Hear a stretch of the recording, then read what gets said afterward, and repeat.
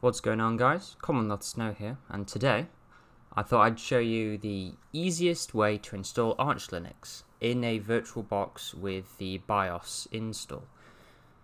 Now, the steps for this will work if you're doing a BIOS install on Metal, so there's nothing to be worried about there. This is the easiest Arch install on YouTube. I I, I promise, uh, 100%, uh, not really. But I know for a lot of people, especially newcomers to Linux, installing Arch seems to be one of those things that you can never wrap your head around. Believe me, I've been there. I spent months trying to grasp how to install Arch, never mind understanding the steps behind it. But eventually, I got my head around it. If I can do it, you can definitely do it. So without further ado, let's get into it. I'm going to be using Oracle VirtualBox for this. Uh, if you don't have that installed, it's literally the easiest thing in the world. I will be following the steps on the Arch wiki, and I'll also put in a few of my own steps to get a fully functioning Arch Linux distro. So yeah, let's get into it. Like I say, this is going to be a very basic Arch install. So we want to click on New up here. Name your VirtualBox. Just call mine Arch 02 already selects our version here. Next, I'm going to allot it uh, 4 gigs of RAM. That should be absolutely plenty. Uh, create a virtual hard disk, VirtualBox disk image.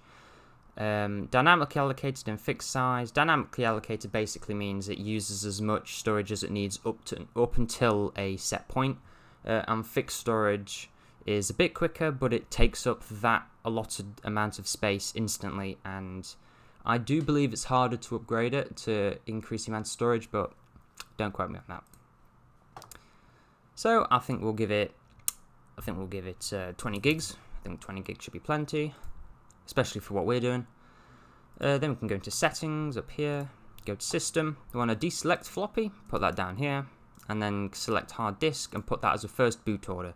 So when we first boot into the Arch ISO, it will skip the hard disk because there's nothing on it, and then it'll boot from the optical and when we finish our install it will automatically reboot with the hard disk selected so there's no need to go back into this window to change this. Click on processor tab, we'll allot it 2 cores out of the 4 cores and 8 threads we have here. Um, you never want to, to give it more than the green and I always think it's safe to allot it half of the green because VirtualBox sees your physical core, uh, sorry, sees your, your virtual cores as physical cores so my processor only has four physical cores, but here it says it's eight. So if we did allot it four, our system will be left with no cores. So we don't want that. Click on display here. We'll give it 128 megs of video memory, and we will also select uh, VBox VGA. Now this normally would full screen our little uh, window for our VirtualBox, but in the install you can't full screen that. So now we're going to click on storage here click on empty IDE, I'm going to click on here, choose our disk file, and then what you're going to need to do is navigate to your ISO files. So I have mine selected there, and that should be it. So we'll click OK, and start the VirtualBox. Like I say, this is a BIOS install, so if you're looking for a UEFI install, I may do one in the future, but there are a couple online which you can check out. I do recommend DistroTube's um, video on a UEFI Arch install. But I also recommend watching other people to do Arch installs anyway, as it seems everybody does it a little differently, so you'll get a good grasp of what you should do. Now, we're booted into the Arch ISO. Uh, we are not going to set a keyboard layout, as the US one will work just fine, but if you do, you can follow the instructions on the on the Arch wiki. We know we're booted into a BIOS, so we don't need to verify that. Uh, we will check if we are connected to the, to the internet. So we will ping archlinux.org. We can see we are connecting, so Control C to cancel that.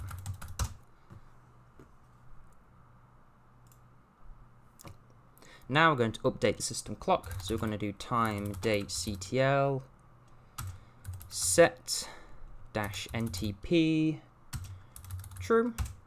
And now we can check if it is correct through time, date, CTL, status. It tells the time there. It is indeed correct. So what we want to do now is partition our disks. Now, the ArchWiki will tell you to use fdisk. I am going to tell you to use something else. I'm going to tell you to use uh, a utility called cfdisk, which I think is a little bit easier to use, especially for if you're new to this stuff. We're going to select a DOS partition table. We're going to create two partitions, one of them to be our boot partition and the other one to be our root partition. Now, so we're going to click new here.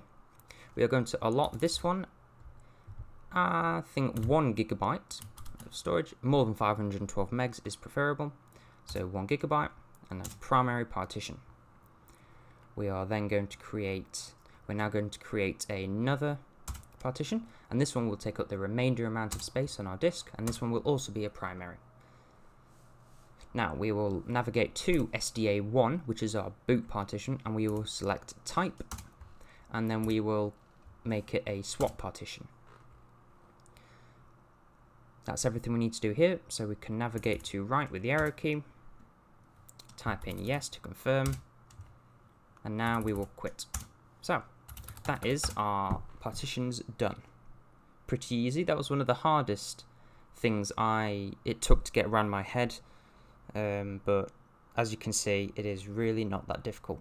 We will now create an ext4 file system on the root partition, which is SDA2 on my system. You can check through lsblk to see what your partition names are. So our, our boot partition is, of course, uh, the 1 gig one, which is SDA1, and our root partition is 19 gigs, which is SDA2. That's where our home directory is going to be based. So we will do mkfs.ext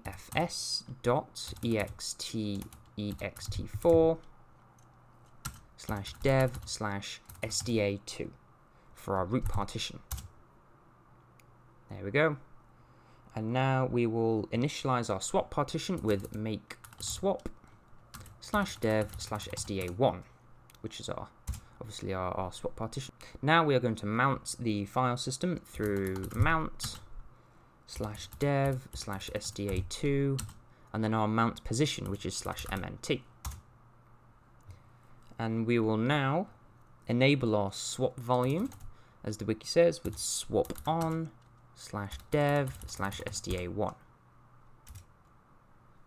Now we will install some essential packages with pacstrap slash mnt to uh, slash mnt is the location we want to install the programs that we're just going to enter next. And packstream pacstrap is the tool we're going to use. So we're going to install base, Linux, Linux firmware, and that'll be it for now. We will need to install more programs later, but um, right now this should be fine. Now, my install took around three and a half minutes to install the, uh, the programs, um, but they won't be the only programs we're going to be installing. They're just the, they're just the ones we need for now. Uh, it took around three and a half minutes for me. It will differ depending on how good your internet connection is, but it shouldn't take too long. Mine did freeze for a little minute, which had me a little bit worried, but everything seems to be alright. So just be patient with that. Um, so now what we're going to be doing is we will be generating our fstab. Uh, so we'll do gen f stab dash capital U slash mount the place you want to generate it. Two crocodile faces uh, slash mnt slash etc slash f stab. Now I've already generated this because my recording went dodgy, but uh, you just enter this command and it will generate it for you. Nothing to worry about there. Now we are going to chroot into the system. Now the way you chroot into the system is arch dash chroot slash mnt. As you can see, I'm already chrooted in, but that is how you go in. That's how you chroot into your arch install. Now what, we're going to do is we're going to set our time zone. So we're going to do ln dash sf slash usr uh, slash share slash zone info. And I already know mine, which is capital E Europe slash capital L London This is capital sensitive, so make sure you put your capitals slash etc slash local time. Now, if you do want to, if you're, if you do not use the London time zone, which is probably most of you, uh, the command to list all of the different time zones is as follows. Uh, time, date, CTL, list dash time zones. And that will give you a list of all the available time zones select the one that's appropriate for you, and you're good to go. So now what we can do is run hw clock dash dash sys tohc, and this will generate the etc slash adjust time directory. Now what we need to do is edit the localization file. Now, uh, we currently don't have an editor to do this. So what we're going to do is we're going to enter pack man because we are now inside the Arch install dash capital S and we're going to install a few packages that we're going to need in the future. So the first one's going to be Vim, which is going to be our text editor of choice. You can install Nano too, but Vim I think is a bit more of a professional text editor. The next one we'll be installing is Network Manager. So we have internet connectivity in the install once we've finished. We are going to be installing sudo, which is going to be our privilege manager for, for our user account. If you choose to create one, which is a very good idea. And we are also going to be installing grub, which is going to be our boot manager. Yes, and yes. And now we wait for these to finish. Like I say, this will depend on your internet connection, but it shouldn't take too long. Okay, that took about 40 seconds for me, that was pretty nice. So now what we're going to do is we are going to edit the locale.gen file. Now first of all we need to generate this file by running locale gen. This will generate the locals and now what we can do is edit it by typing in our text editor, in this case Vim, and then the directory path. So slash etc slash locale.gen. Now what we can do is navigate all the way down to find our language. So we're going to be looking for en underscore us. And for any other language, obviously, you'd track it down and uncomment it. So the way you uncomment is pressing I to insert uh, if you're using Vim. Uh, and we want our en underscore us.utf dash 8, not the ISO, because we will be leaving the ISO when we finish the install. So we will go right one and backspace. Now this one is uncommented, which means it is the only one that's going to be used. So to quit, we press escape, shift, colon, right, and quit. WQ. Now, now that's done, uh, we can now create our locale.conf, our configure file, uh, with vim slash etc, etc slash locale.conf. This is going to be a blank file because we've just generated it and we need to enter the following. L-A-N-G lang equals E-N underscore U-S dot U-T-F dash 8. That is going to be our conf file. So shift colon right quit clear that. So now we are going to create our hostname file for our network configuration. And we're going to do this by typing in vim space slash etc slash hostname. And now we're going to insert and we're going to type in our hostname. So mine is going to be Archbox. I recommend you keep it pretty simple. Um, but Archbox seems pretty good. You can name whatever you want though. Just make sure you remember it.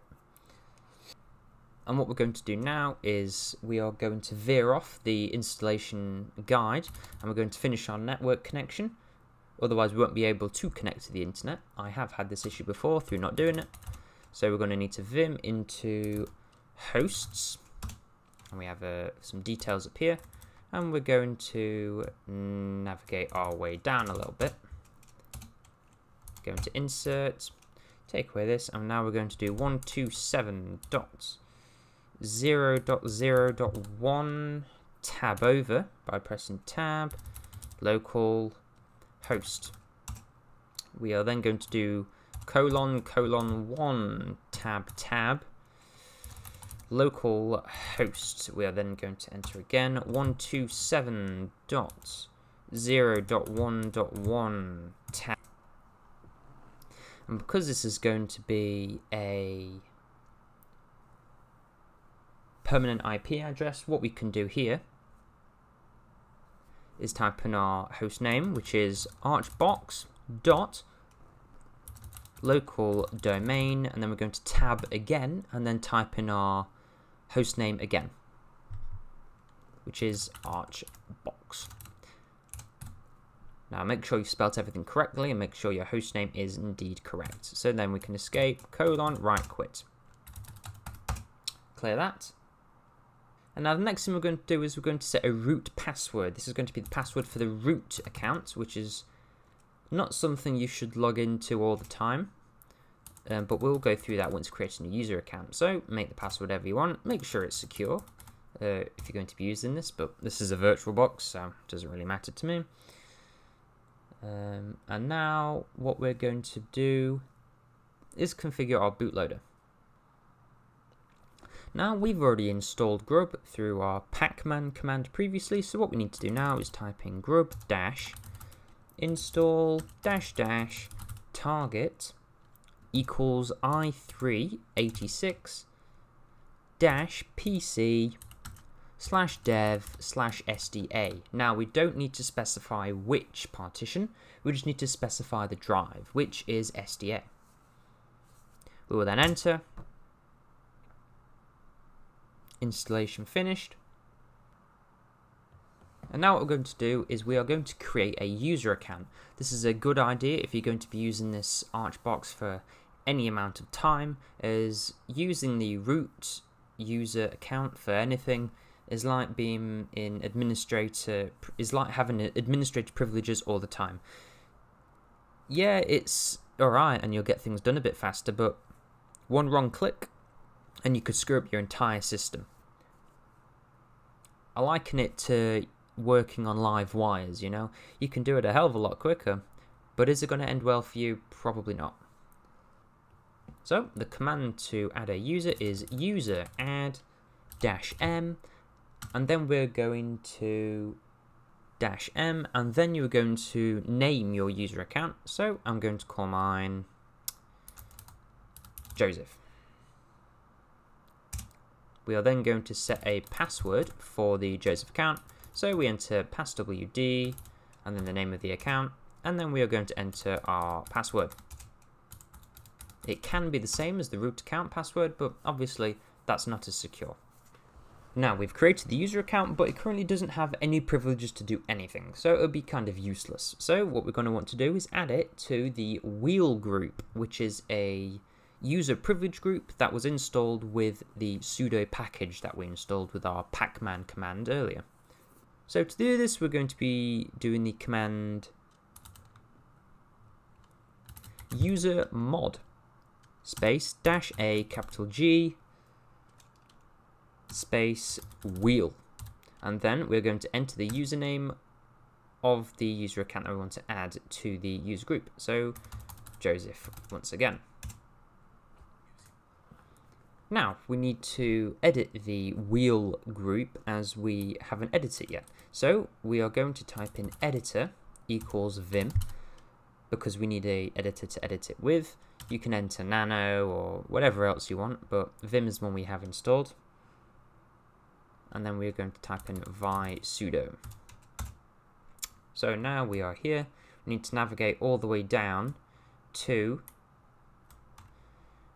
here, uncomment to allow all members of the group of wheel to execute any command. That's what we want. So we are going to press I for insert, go right twice, and uncomment that command.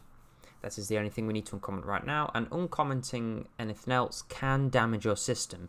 Um, people will recommend new users to use Nano to edit uh, files like this, as it is less volatile and you have a less a less likely chance of screwing up your system. But if you know what you're doing and you don't go adventuring too much, just editing this one file in Vim is fine.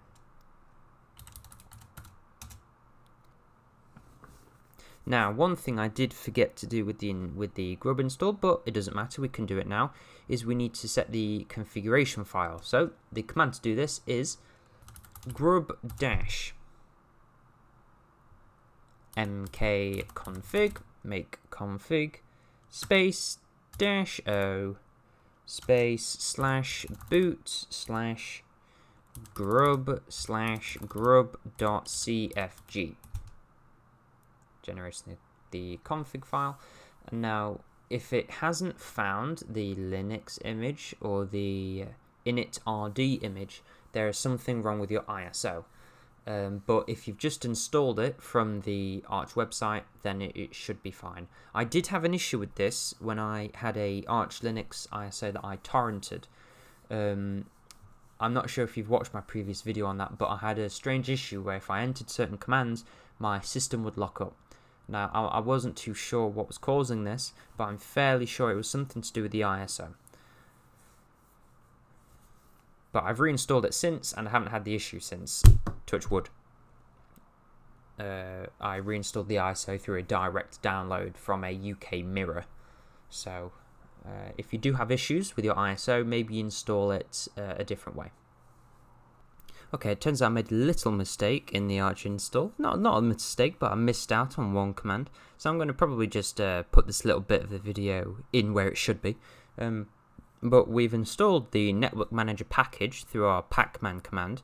Um, but we need to actually tell the system to boot it up on startup. Otherwise, we won't be able to connect to the internet. So what we need to do is we need to enter this command. System ctl enable space capital N network capital M manager no spaces now we've created some things and our system should boot up network manager on startup so with all that said and done we should have everything we need for a fully functional arch system so what we can do now is exit our root uh, sorry exit our chroot environment by typing in exit and now what we need to do is unmount all of our partitions like we have like, we, like we did before. We mounted our uh, partition so we could chroot into it. Now we need to unmount it. So we do that by tapping u mount dash capital R space slash mnt. So we've unmounted our slash mnt and we should be ready to go. So we can type in reboot and it should work. Fingers crossed. So, uh, Grub is configured correctly. We press enter on the Arch Linux. And now we've got our Archbox login. So we are going to log in with our user account, which is Joseph. You can always log into your root account if you did forget to create a user account or it went a little bit wrong uh, with just uh, root uh, as the login name and then obviously your um, your root password. So we have just logged into our Arch Linux environment. Now, we must do one thing that everybody does when you have a fresh Arch install. pacman-s neo fetch. That's right. We are not root, so we need to type in sudo pacman-s neofetch. So we need to enter our password because we are now using sudo. Press enter. And there we go. You may notice my voice is a little different from the beginning of this boot up. That's because I forgot to enable Network Manager in uh, systemctl, but I'll make sure to put that in the video before you get to this point. So now, the moment of truth, The moment of truth. The moment you've all been waiting for. The moment every single person watching this video has never done before. And have always wanted to do. I don't know why that came up 50 times, but there you go. NeoFetch, Arch Linux. Isn't that beautiful? Isn't that what you live for? Isn't that just what you live for? Now you can screenshot it, video it, picture it, do whatever you want. Throw it all over r slash Arch Linux, r, r slash Linux, r whatever. How many subreddits there are nowadays dedicated around Arch Linux? You put it on Unix, Unix porn, you know. Um, fancy it up a little bit. Throw a bit of sparkle on that. Anyway, enough about that. I hope you found this video useful.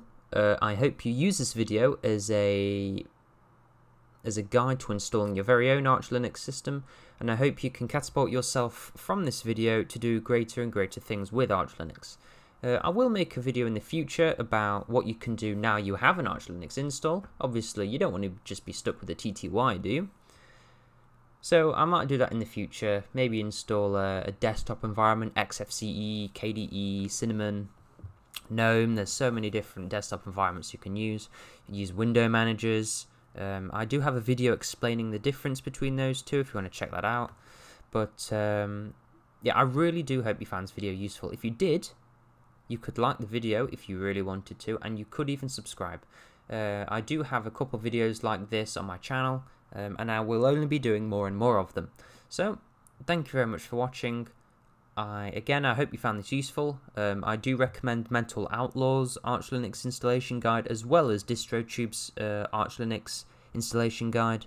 Um, they're both very, very good, and they both also have Gentoo installation Linux guides, uh, which is pretty damn interesting if you want to check that out. Um, but yes, thank you very much for watching. Thank you very, very much for watching to the end if you made it this far. My god. Um, have a very, very good day. Um, brush teeth at night. Eat healthily. Don't eat too much processed sugars. All in moderation. Don't smoke. Um, yeah. Good stuff. I hope you enjoy your new Arch Linux install. Have a good day, everyone. Drink water. Do exercise. And I will see you in the next video.